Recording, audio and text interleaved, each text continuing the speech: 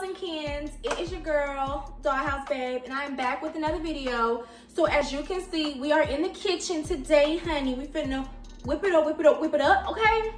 So um i had told y'all in a video maybe like two videos ago the little yang yang around the house. Um, when I had did my little yang yang video, I had told y'all that I do make my own hair oil. And today is Sunday. So today, like Sundays usually are real easy self-care days, um, real chill type days. So I'm gonna go ahead and make my hair oil today. And I'm gonna pretty much walk y'all through how I make this hair oil. I did pretty much get this recipe from somebody else off of Instagram, um, off of YouTube, I mean. And if you check YouTube, you'll always, you'll be able to see this particular recipe. Um, it's called the Ayurvedic Herb. So it's an Ayurvedic herb hair oil. And if you look on YouTube, you'll be able to find it on there. Um, so I'm just gonna walk you through pretty much how I make the hair oil. I'm not super precise about my measurements or anything like that. So a lot of stuff I do just eyeball and, you know, put in there as I see fit. But now I'm gonna let y'all know all of the products that I'll be using and all of the ingredients that go into the hair oil. All right, so y'all stay tuned. These are the ingredients that I use in my oil. My bases are castor oil, extra virgin olive oil, and coconut oil. Oh, here's that. And coconut oil. These are the bases that I start with. And then I have my crushed fenugreek seeds. We have rosemary leaves. We have tea tree oil, rosemary oil, vitamin E, Maha Varungara oil. This is one that I got from the, like I say, some of these ingredients you're gonna have to get from your Indian food, um, whole food store. This is one I got from the Indian whole food store. This is like, I guess, the holy grail for the hair oil. Like this, and then the other, this ingredients, alma powder, like the alma powder, and I'm gonna show y'all how it comes. It's probably a little dusty. Yeah, so the alma powder, Brahmi powder as well. These are like what's really kicking it up. And then I also use hibiscus powder. Hibiscus powder, and those were all found, like I said, at the Indian food store. These are like your key ingredients for this oil. So this is what pretty much makes it an um, the Ayurvedic oil recipe, these particular ingredients. If you don't have these ingredients, then it's not really an Ayurvedic oil. All right, so pretty much that's all of the ingredients that I'm gonna be using and I will let y'all know how much I put in there once I get started. Um, utensils that you're gonna need, I just use a plain um, plastic spoon to mix with. I do I, I do use measuring cups a little bit. So I do use my measuring cups to a small degree when I'm using, excuse me, I had to burp. When I'm using the alma powder and the Brahmi powder. So I do use this a little. And then this is the bowl that you will pretty much mix everything in. Right now I have my pot on. Oh my gosh. And this has not even been, wow. I thought it was on, y'all. Okay. So I thought it was on and it wasn't. So it hasn't been boiling this entire time. So I've just been sitting here thinking that it's been boiling and it hasn't. So we're going to wait for that to boil. But pretty much when this comes to a boil, you put this on top. You put this on top. And then this is how you start cooking your oil. So once this comes to a boil, I'll come back. All right, y'all. So the pot is a little bit hotter. It hasn't come to a complete boil, which is not a bad thing. That's cool. So what we're gonna start with first is our coconut oil. And I put a great deal of coconut oil in there. So that was one, two, three. I'm gonna just use my whole container of coconut oil today the rest that I had in there. The rest of that.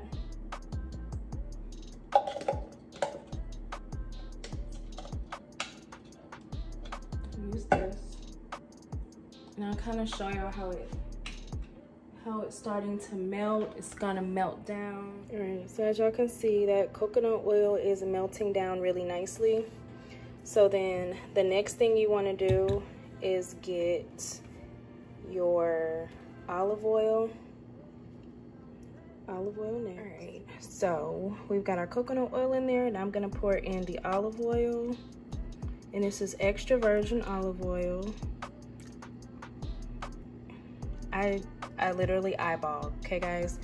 And but this, like I say, is your base. You wanna have a really good base. And then this here, then this one is castor oil I'm gonna put in.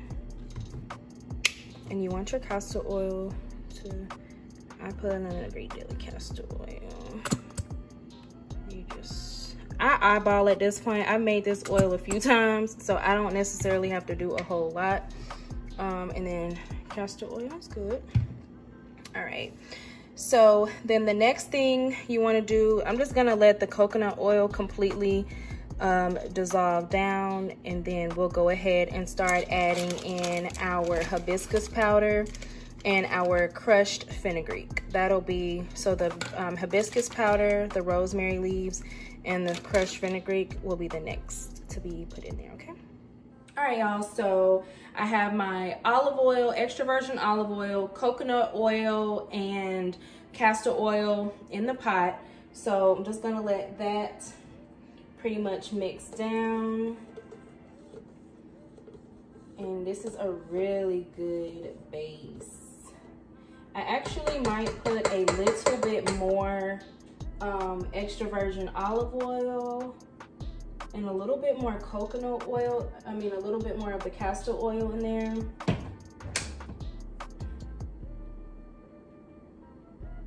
And I always add the vitamin E at the end. So vitamin E always at the end. Um, along with the rosemary oil and tea tree oils, I put those in the, at the end as well. Righty, so we've got that. Let me move this here. All right, so next we are going to put in our hibiscus powder. So I'm gonna put that in next. And for this one, I usually use like a teaspoon, like a tablespoon.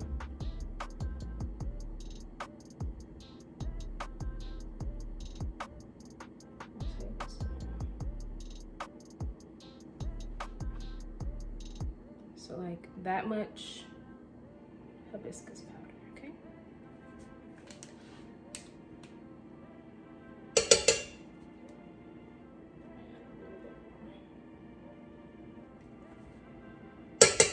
Okay. And I'll show y'all what that looks like. The hibiscus powder.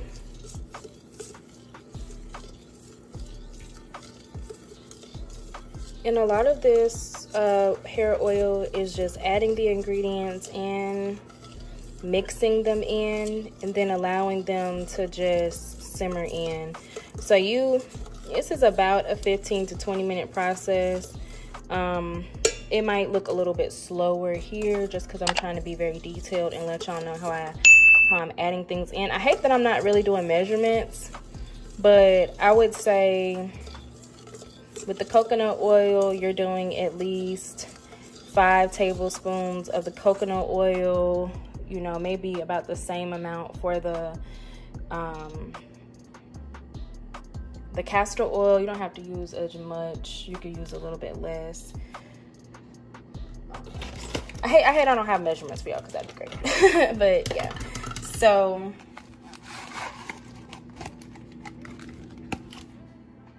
All right, y'all, so I have added in the rosemary leaves and I've added in fenugreek seeds. Oops, let me move the pot over. So those are the rosemary leaves and these seeds that are in here, these are fenugreek seeds.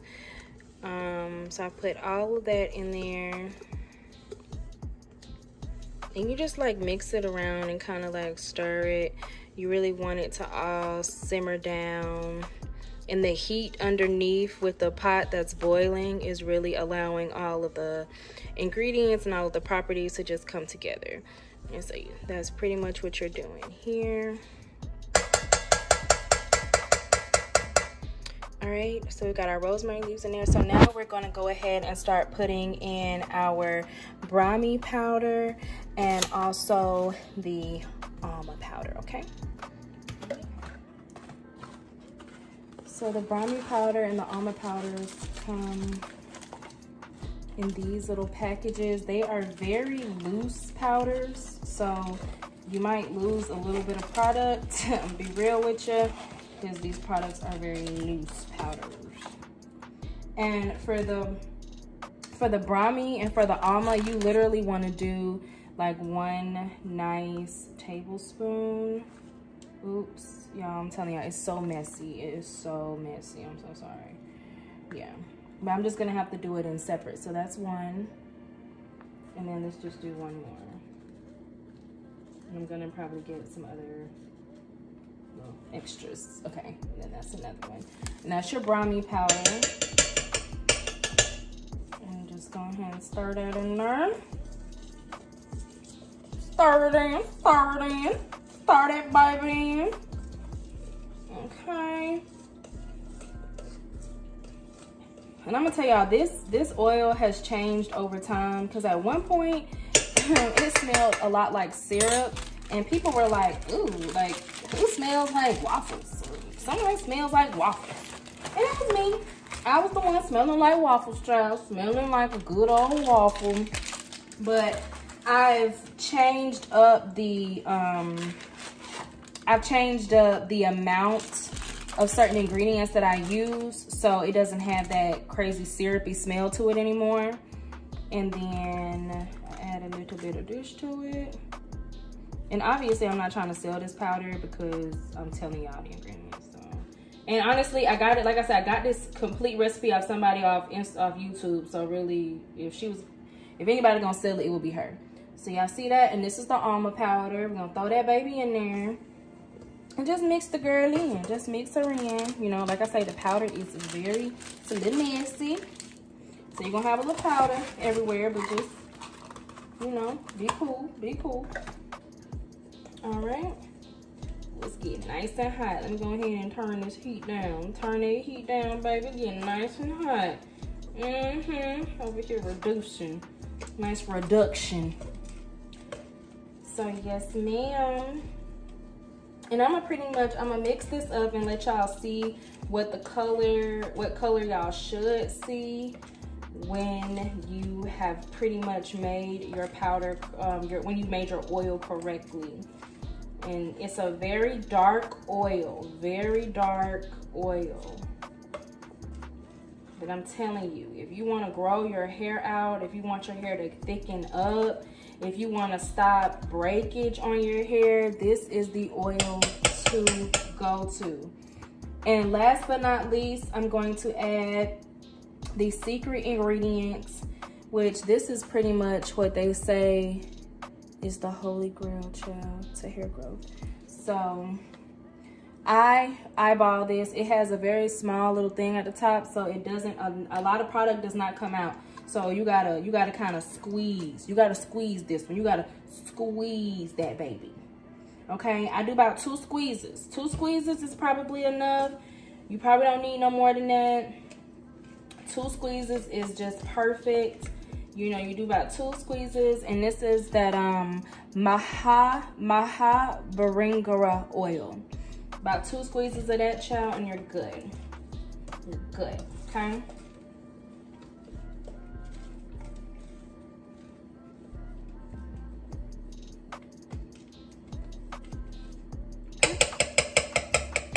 I might do one more. Let's do one more because this is the good stuff.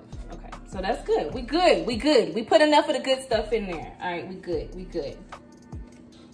Perfect.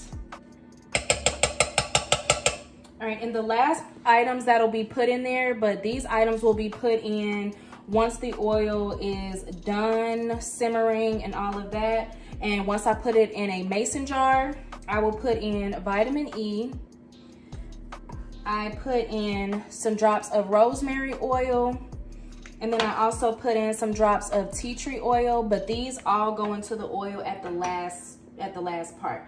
So I will come back. I will, I'll let, let me let y'all see what it looks like, and then I'll come back and show y'all how I put it in the mason jars and all of that, okay? All right, dolls. So this is how your oil should pretty much look.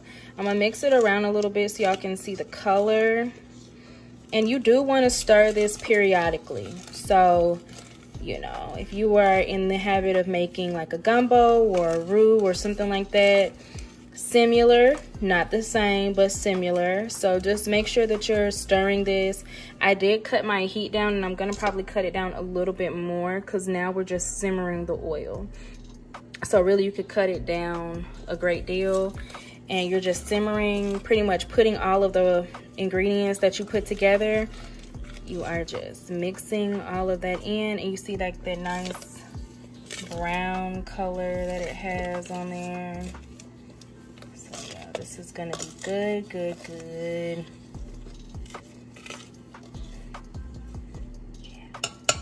Okay, so our oil has been simmering for about 15 to 20 minutes at this point. So I am going to take the oil out of here and put it in a mason jar. So pretty much these are the mason jars that I use. You can get them from Walmart. I got like a four pack for up for a certain amount. It is hot a little bit. It's a little hot. So I'm gonna turn that off. And then we are going to basically just pour all of the oil. You could do this over a sink, of course, but I pretty much already know what's gonna happen. So I'm gonna pour it in like this. Oh, we got a lot of oil this time.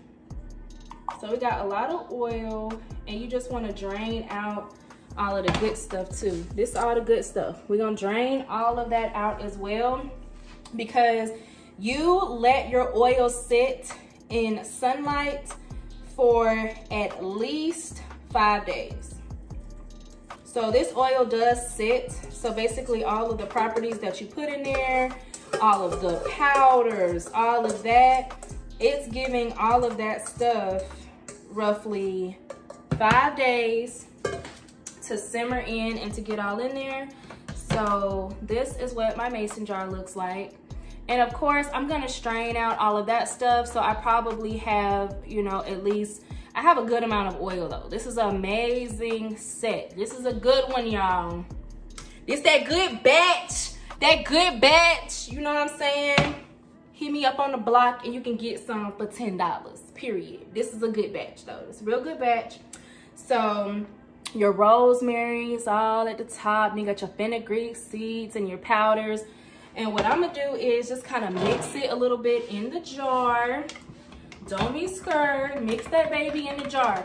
And as your, as your oil is sitting in the sunlight, like once a day, go and shake it up. Go and shake it up just to make sure everything's all getting mixed in. It's settling nice. You understand?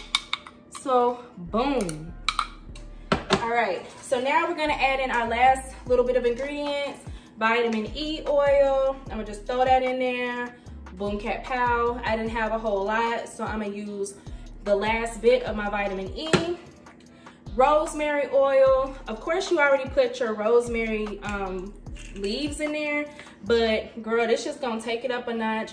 Rosemary oil is really good for blood circulation and things like that. So when you're massaging this oil in at night, it'll just pretty much open those pores and allow your hair to grow. So I put in some rosemary oil and then throw in some tea tree oil as well, y'all. So throw in some tea tree I don't really like a whole lot of tea tree oil, but I will throw in a good amount because this oil batch is pretty decent. So I will throw in a good amount in there. And baby, you just go in, you just go in. I might put a little bit, I love rosemary oil. Like I say, the rosemary is helping out a lot. All right, so boom. Now, when I go ahead and mix those in, I shake the thing. I shake the jars, shake it shake your jar. Make sure your jar, of course, is held, is closed tight. and make sure that you have a good grip on it, of course. But you're just gonna shake that jar up, shake it up, shake it up, shake it, shake it, shake it up. Shake it up, shake it up, shake it up. Shake it up, shake it up, shake it up. Shake it up, shake it up, shake it up. Shake it up, shake it up, shake it up. Shake it up.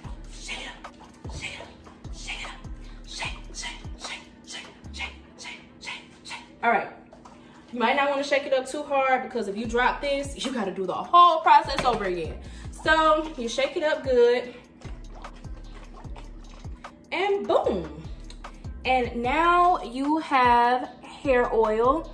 And with a hair oil amount, like with an amount like this, I pr pretty much have hair oil for at least, for at least three months, I would say. This could last me up to three months. So yes, ladies, this is how you make your own homemade, um, homemade hair oil. Like I said, this hair oil, oil uh, like I said, this hair oil is really, really great if you're trying to grow your hair out, if you want thicker hair, um, if you want to stop some breakage that you may be seeing um, in your hair. And it's really, really moisturizing as well. Like I say, those bases for the extra virgin olive oil, the coconut oil, and the castor and the castor oil really give you um, a lot of moisture and things like that. The other ingredients are pretty much is what help is what's helping with your hair growth and stuff like that. So make sure you put in enough of your bases and this oil is so, so moisturizing. Like I said, I've been using this for roughly a year.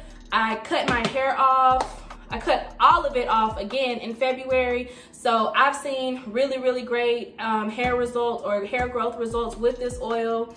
Um, eventually, I'll show y'all some pictures and stuff because I know being able to see pictures and photos of somebody's hair growth is a lot better than them just telling you.